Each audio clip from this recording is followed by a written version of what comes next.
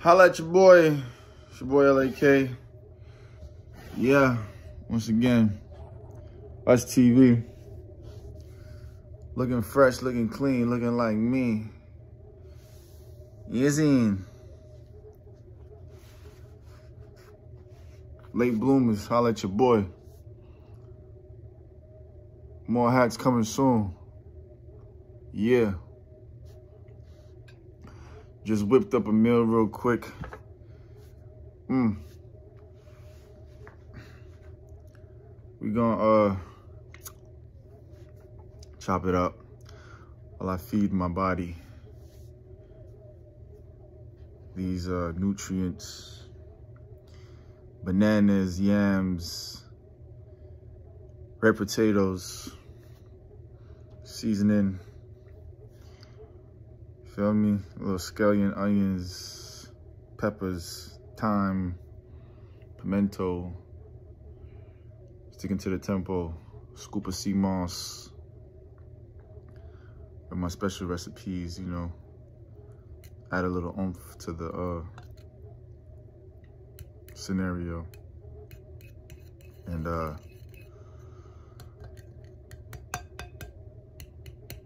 talk about the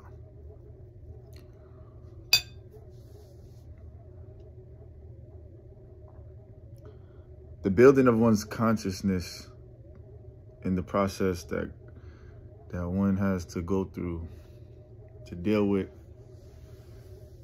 um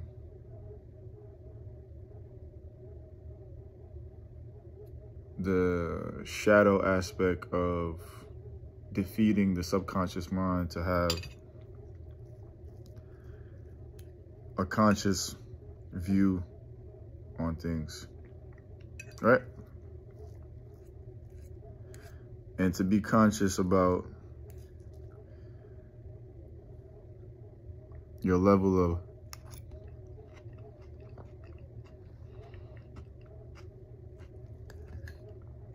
of perspective and awareness and being aware of doing the things that you say you can do.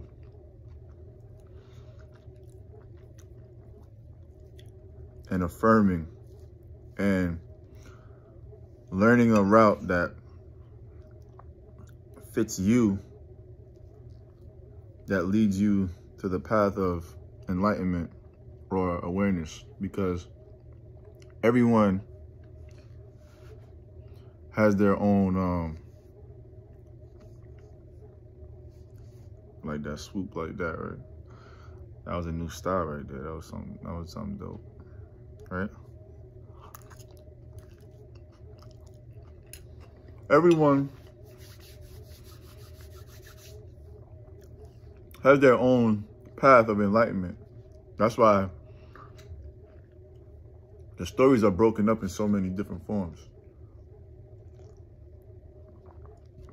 Right?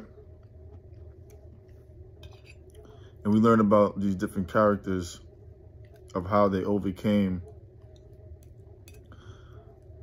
um, tribulations that led to them coming to a point of accepting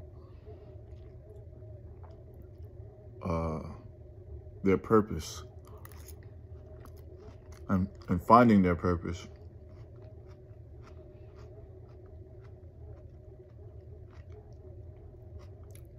Based off of all these different challenges that they were faced with and what it took to keep them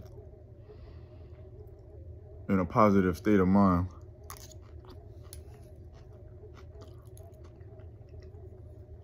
Right?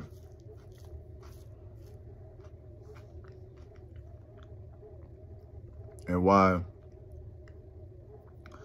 each story has its own narrative that allows people with different perspectives, they can use it to tap in to their um, path of enlightenment. So you have Buddhism, you have Christianity, Islam, the streets, um, you have yogis, and they all have their different formulas to get to their path. That's why there's different situations and different um, ministries and different um, structures that allows one to be delivered based off the choice of uh, of perspective that fits them, right?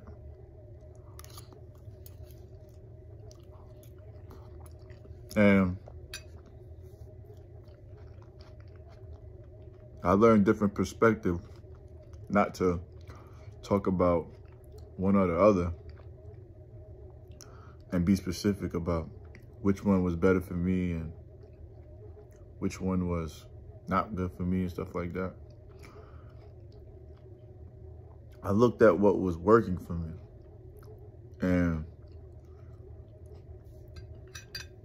how did it allow me to feel? And what were the results that I was gaining from it? And was I willing to live out the testimonies and the stories that were displayed to me without being judged by others, knowing that if I fulfill the story of how I read it, and if I believed in the narrative so much that if I put myself in the position of these characters and I knew what the outcome was going to be, will I be able to fulfill the narrative and the outcome of these um, stories that were given to us to use as a guide to get to a certain level, a certain status in life, or to get to a certain peace of mind that allowed you to tap into the God level consciousness of um, awareness or God level consciousness of belief and faith.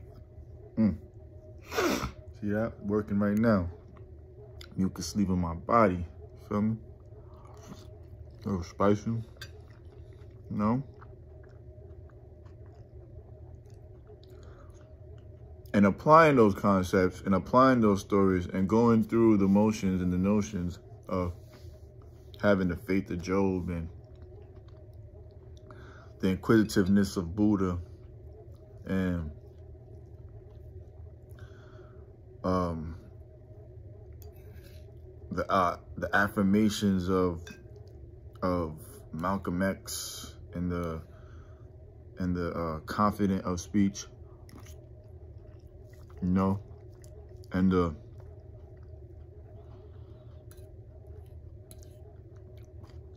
the dream like Martin Luther King, you know, and to be a king like Isaiah, you know. And what was L8K's story? What was Kamar's story so that he can create the narrative for Karate Lee, Kendall Lee, right? And, and live out live that live out that narrative create the narrative set forth the narrative believe in the narrative and to create um, a path the best way the best way I could and can right? I can. So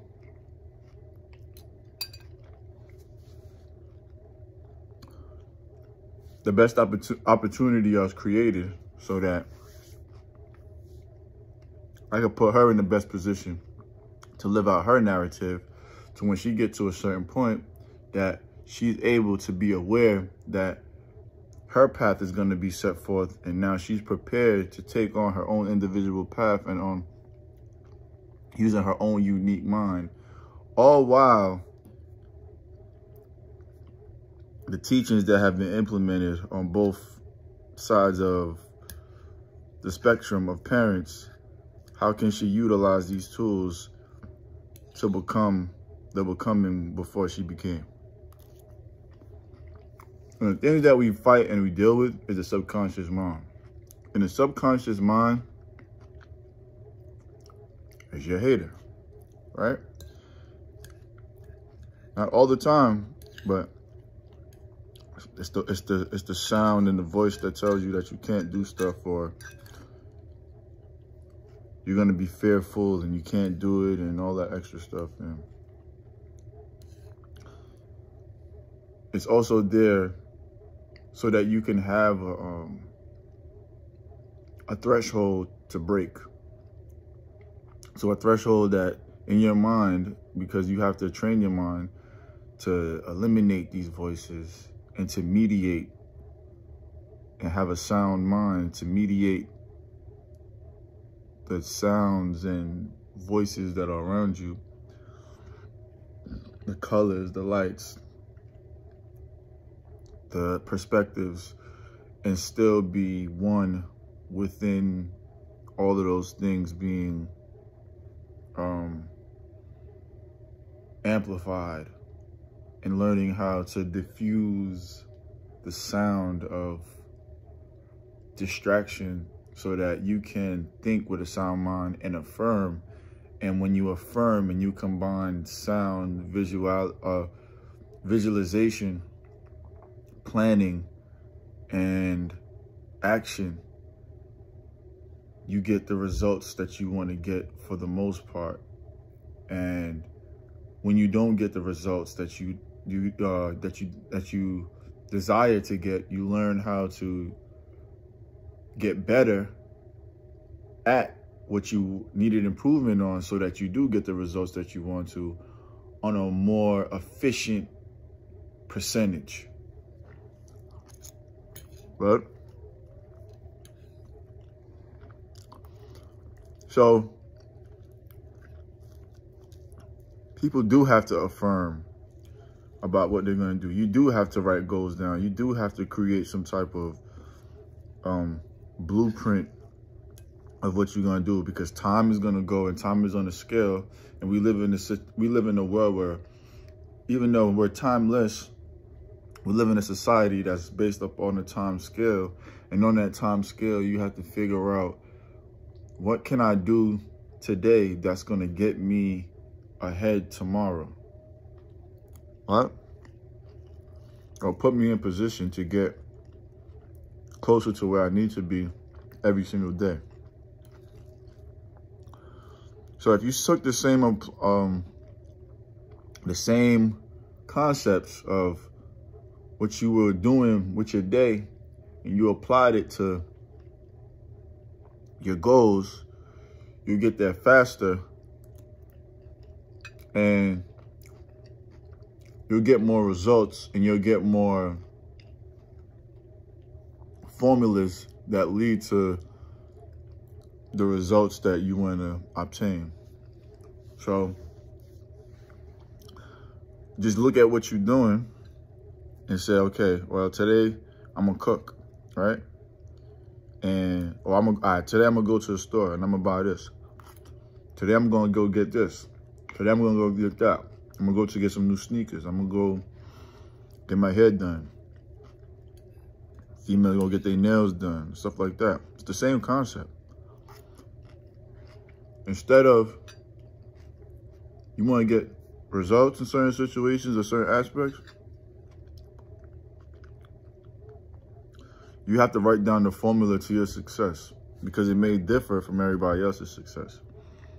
And that's why there's so many chapters in these novels and these books because everyone had their own formula of how they were going to get to a certain plateau of um, success or overcoming whatever um, obstacles was placed in front of them or how each person had to channel their faith to get to an understanding or how each person was left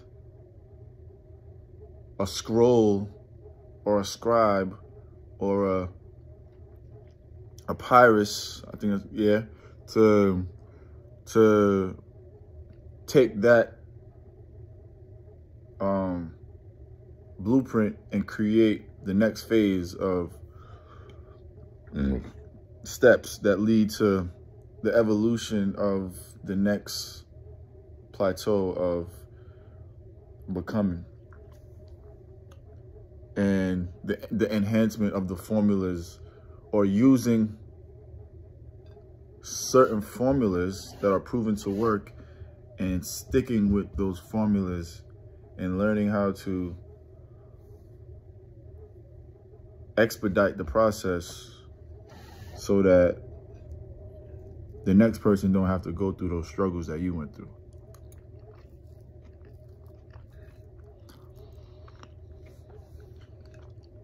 And those are things that you have to learn. And some people are like, yo, why is not happening for me? Or why this, why, why, why I gotta uh, go through this? Uh, the more you declutter your mind and no, accept the fact that you are to be fighting with thoughts that's in your mind and you do believe that you have the power to defeat those thoughts that's in your mind, the conscious mind starts to take over and those thoughts tend to disappear. And when the mind starts to, the mind starts to know that, okay, yo, his mind is starting to eliminate the negativity that, that lingers in the mind, right? the negativity that prevents you from from making those steps or making those decisions or doing certain things the subconscious mind will always pop up like boom like you can't do it or um certain images that are like screenshotted in your mind you're like okay i, I gotta get rid of that thought it, it'll pop up naturally because it's embedded in your mind right but it's just like a computer. The computer has information that's in there that you gotta defrag it. You feel me? It has to be cleared. It has to be updated, just like phones. You gotta update the information every once so often because your mind becomes over, um, it becomes system overload and you got to clear your mind. Every so often, the same patterns happen over and over again. Every year, the same thing happens over and over again so that your mind could create new patterns and see if the old patterns are still there or if the new patterns outweigh the new patterns. I mean, the new patterns outweigh the old patterns. And then you start to expedite the process based off of the timing of your divine um, clock, your divine clock. So the faster you tell yourself, yo, this is where I see myself and this is where I want to be and this is how it's going to happen. And you put that in writing and you make that happen, the divine clock starts to work in your favor and you start to get the results you need, sometimes without even putting in the labor because the universe is molding you to feel and to look how you're supposed to look or how you want to look or how you pertain or how you see yourself.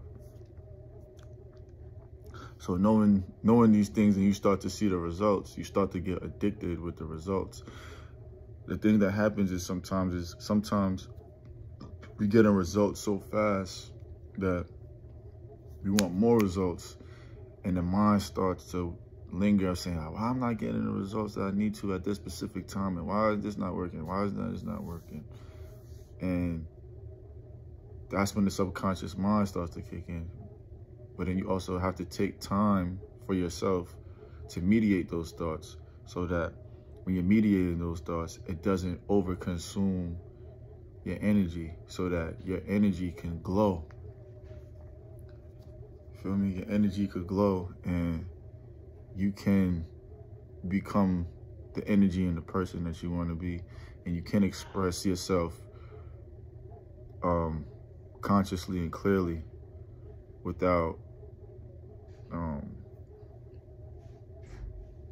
having to fight with the negativity that lingers from your timeline of living in this world and the society and the opinions and stuff like that. So there is a reason why there's a a, a Michael Jordan and a Kobe and a and a um, Tom Brady and these figures that we look up to, Oprah Winfrey, um, a Jay-Z or all these different people, right?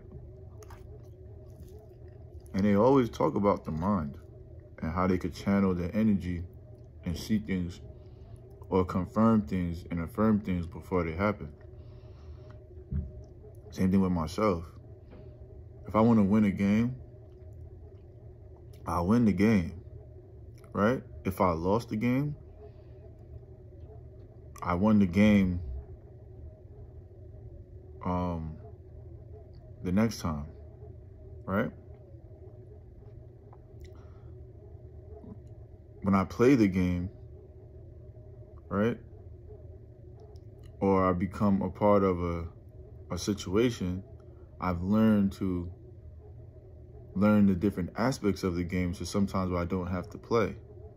Or I play different positions based off me studying how to be a part of the structure of what creates the game. Right? So I could be a passer. I could be a point guard. I know the role of a center. I know the role of owner. I know the role of a consumer. I know the role of a manager. I know the role of a supervisor. I know the role of a janitor. I know the role of um, a journalist or a blogger or an artist, a rapper, different things. I know these roles, a model, the photography, the angles, stuff like that. So once you start learning these things, now that these thoughts are cluttering and all these different things is floating through your mind, you have to compartmentalize how you think and how you see things and how to put things in perspective and channel them and put them in brackets of organization so that a lot is not going on unless it's on the t-shirt and you're selling it for buku money and your L8K. So you learn it's 12 how, how to, confirmation. You learn to compartmentalize these things and put things in perspective and in categories so that you're not over consumed with the limitation of time, but you're putting things in perspective of the time scale so that each agenda gets achieved based off of your organization of time and allocation of um, knowledge, right? Your allocation of knowledge. So,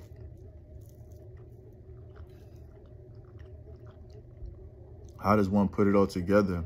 Be organized with it, not overthink, and sometimes accept that you will overthink and not let the thinking paralyze you to where you don't make those steps to get to a certain level or when to not take the steps and when to take a step back so that when you're ready to take the the the, the, the, 20, the two steps back to take 20 steps forward, you're you're prepared based off of the time you took to remove yourself from a situation only to take a quantum leap into the next phase of life. And that's what the book is about, phases.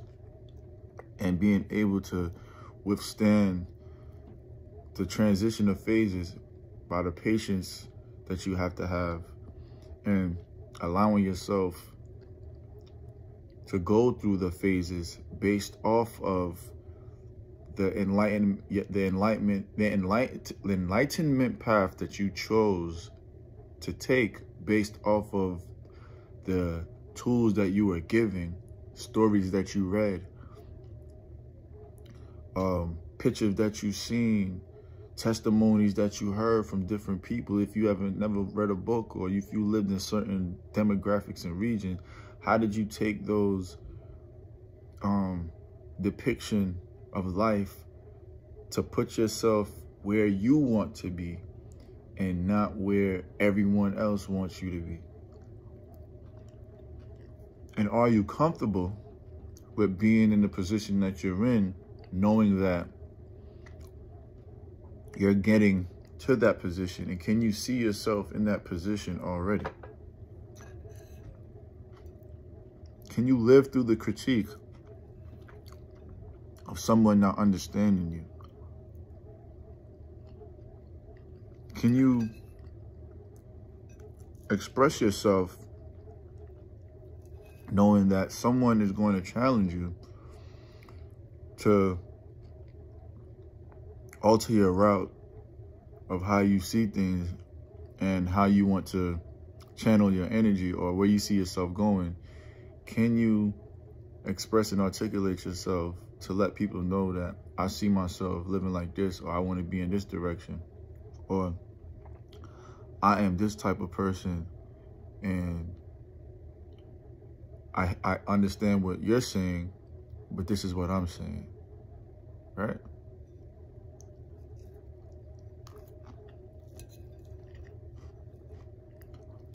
Can you learn the phases? Can you study other people that came before you that had proven success to put yourself in a position position of success and learn the goods and the bads of that process so that you sustain a peace of mind, success, and you can express yourself and express yourself to the point where the judgment doesn't really affect you. It only makes you more proactive in the direction of where you're trying to go. So you learn how to channel criticism, critique, distractions, and put that in a direction to where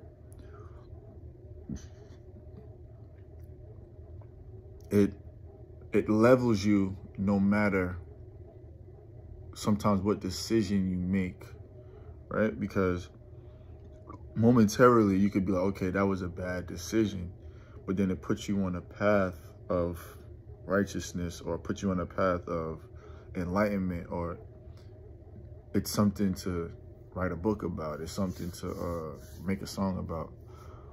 It's something that was that was there to give you enlightenment. You feel me?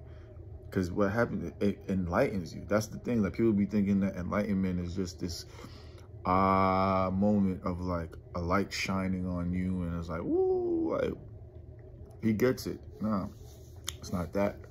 Enlightenment is a revelation.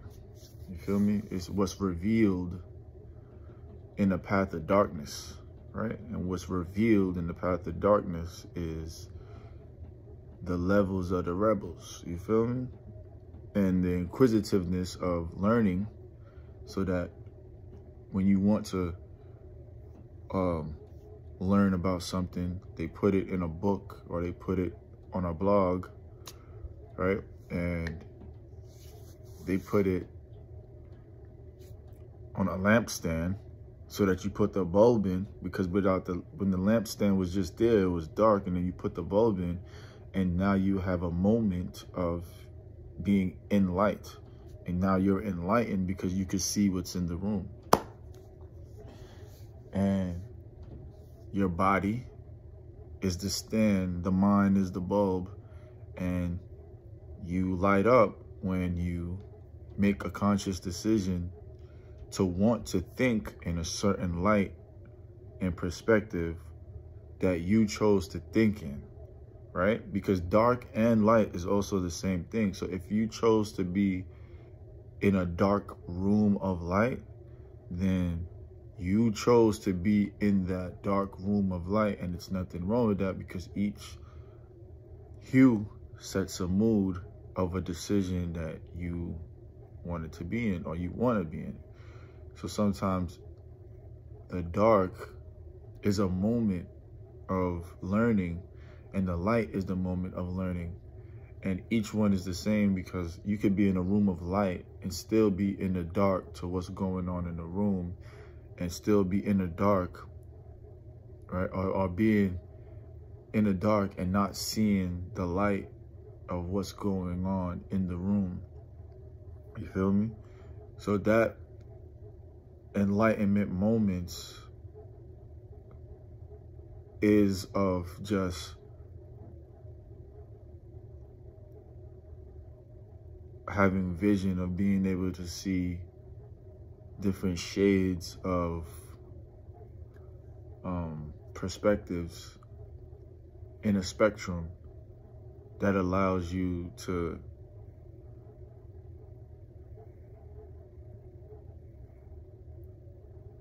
use the tools of imagination and use the tools of reality and learn how to compartmentalize and organize organize decisions and be instinctive based off of the tools that you want to learn and you will put yourself in categories based off of who you modeled yourself after.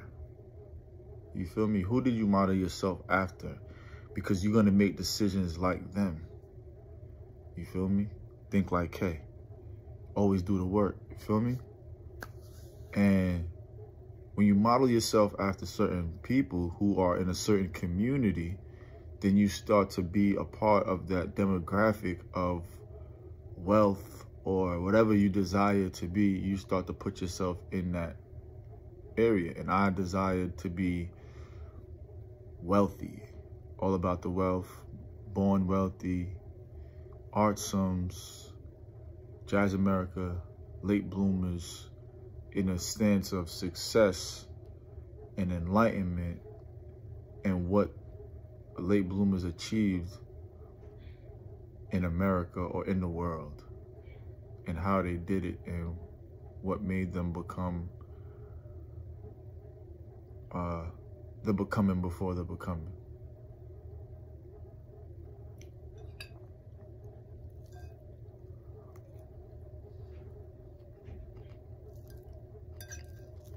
So, it's easy concepts to learn. Tough road to walk. Right? Tough road to walk, easy concepts to learn.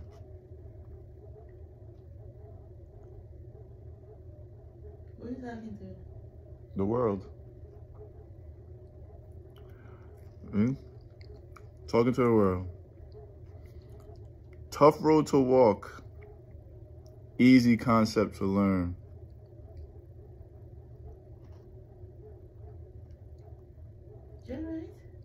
A lot of results come when you accept the path, right?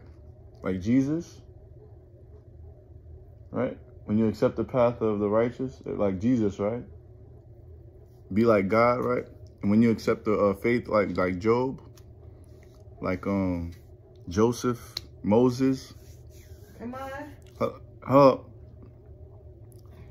when you accept these pathways and you study the novels of them, you gotta not just preach them, but live the story based off what you read to see if those stories come to life based off your testimony, right? Testimony, which is the currency of the energy that makes the world go around, right?